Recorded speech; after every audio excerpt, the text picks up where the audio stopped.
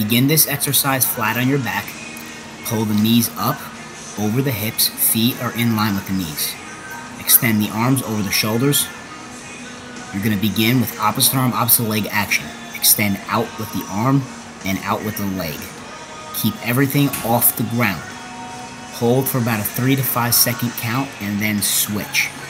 You want to focus on keeping the low back flat against the ground.